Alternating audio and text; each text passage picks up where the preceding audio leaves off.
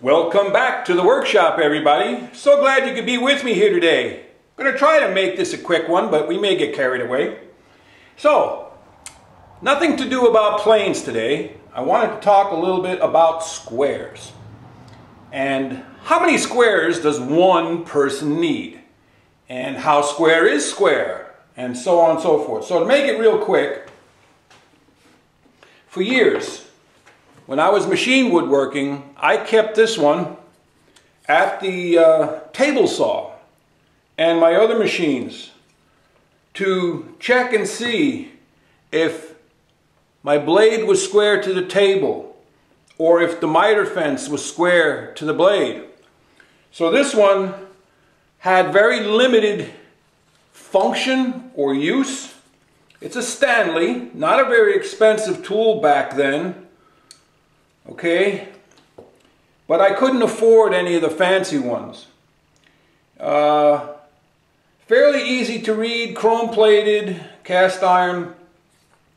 And as you can see, the uh, one leg is a little thicker than the other, than the other, so it, but it was square enough. Then I bought another one not too long ago on eBay. It is a Miller's Falls. I don't know if you can see the name on there. And it is very nicely made. Very nicely made. I would say it was, you know, on, on equivalent with the Stanley, uh, with the Starretts of its day. And this one has served me very well at my workbench for years. Then I wanted a small pocket square just for checking the edges of uh, boards to see if they were square and for checking plane blades as I was grinding them. This was a nice little pocket square. It's not cheap, it's a Starrett.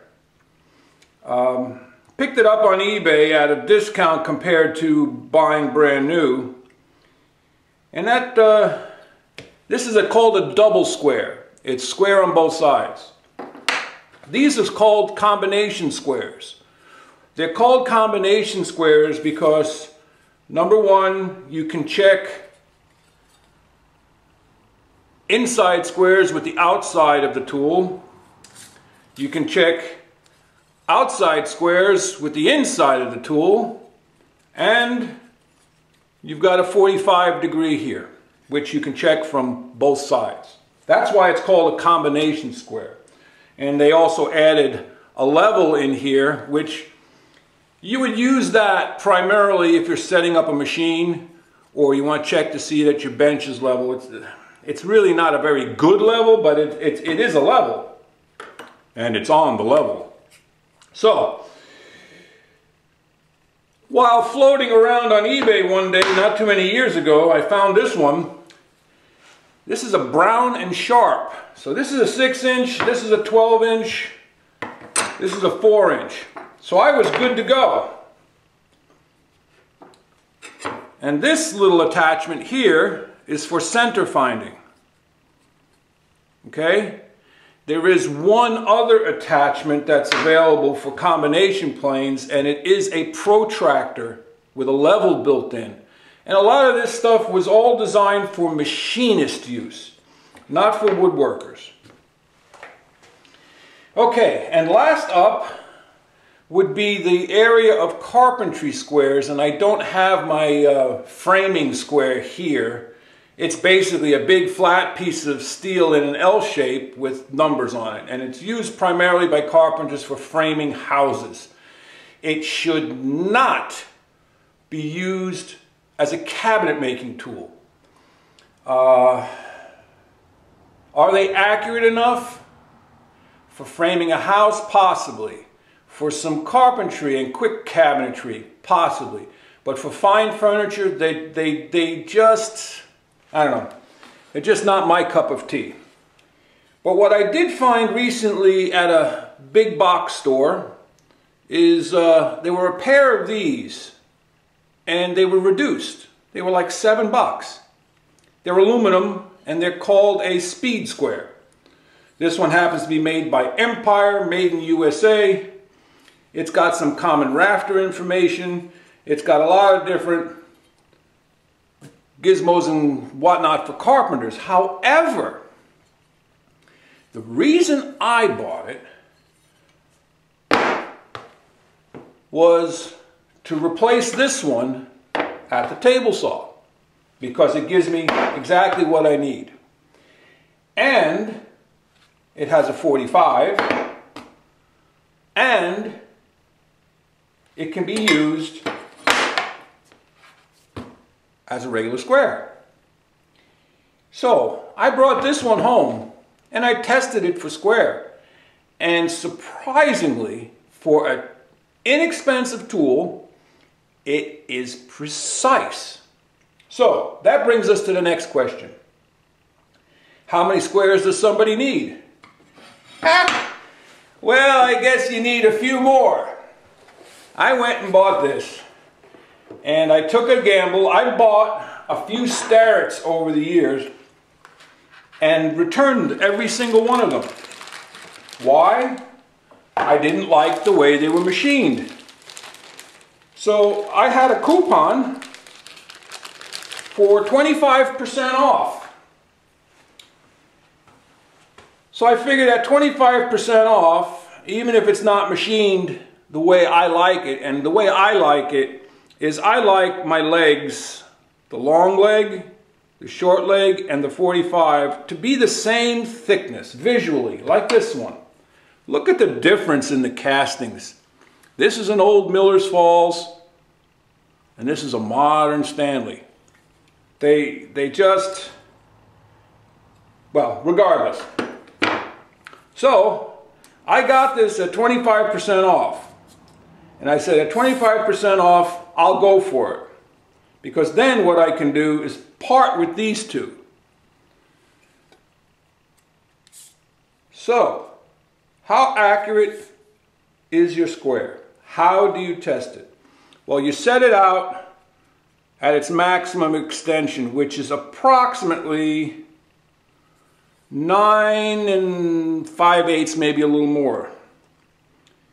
So let's set it at exactly 9 and 5 eighths. Now, the simplest way to check, and there are other methods, and there's a few out there that are promoted by different professional woodworkers. But the common way to check is to take some flat surface with a perfectly straight edge. And I like plywood because that comes from the mill and it's usually very, very, very, very straight. But you can test it with a straight edge or you can plane it straight. And you place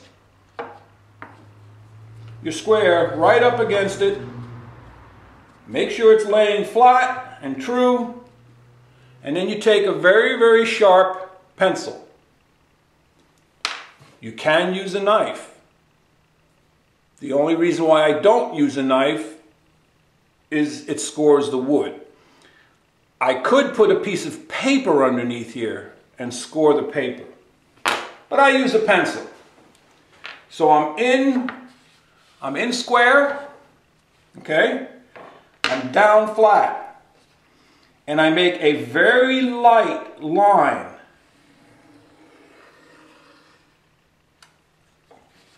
across the plywood. All right?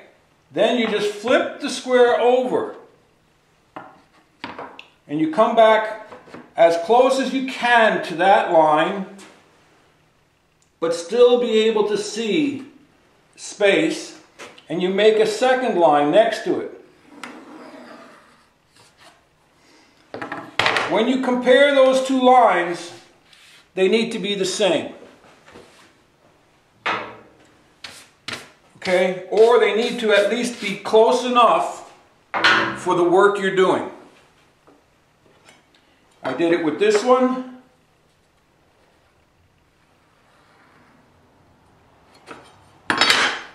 And remember, a speck of dust can change the result. Or if it's not laying flat. That one is amazing. That is amazing. That is dead on. Okay? We'll even check the old ones.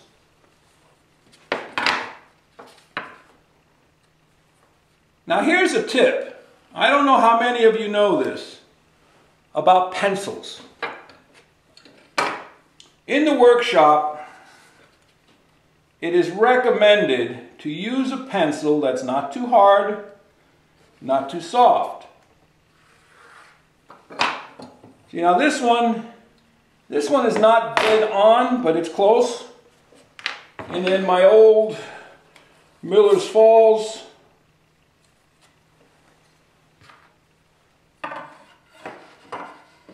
Let's go in here. Got to make sure you're flat. You got to be flat and you got to be in.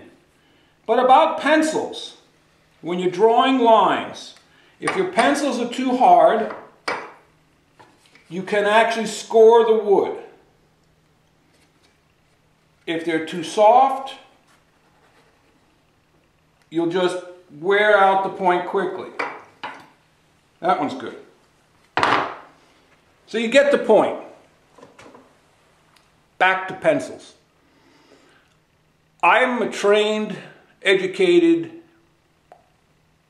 certificate, diploma received draftsman.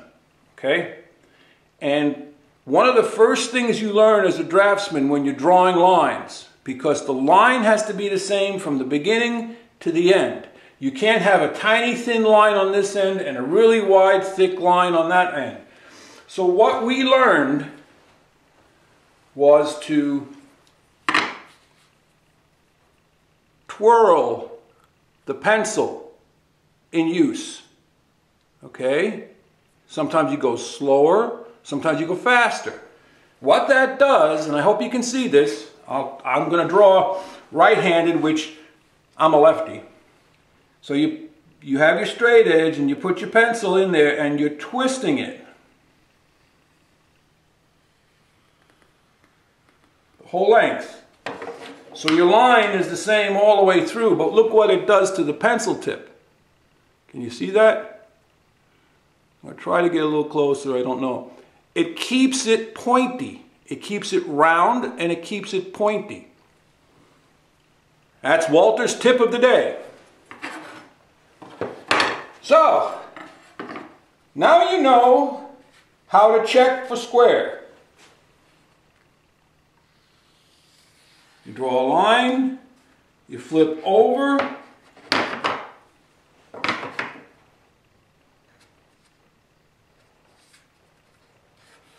and you draw a second line. Okay? And the distance between those lines should match. Or if you're going to get really accurate and you use a knife, you should fall right in that same knife line. So what if, what if your square is out? Ever so slightly. Well, there are ways to correct them. I'm not going to get into that because I don't want you messing up your tool. If you're doing typical cabinet making and furniture making, and you've got a square where the line, where the square lines, you can check the inside too. If your square lines all keep lining up with each other within, let's say, a hair, that's three thousandths of an inch. you're good to go. If you're out, if you're out of square more than the thickness of a pencil line, you can start getting some very bad results. But these appear to be in pretty good shape. I'm still Totally blown away by this one. Totally blown away.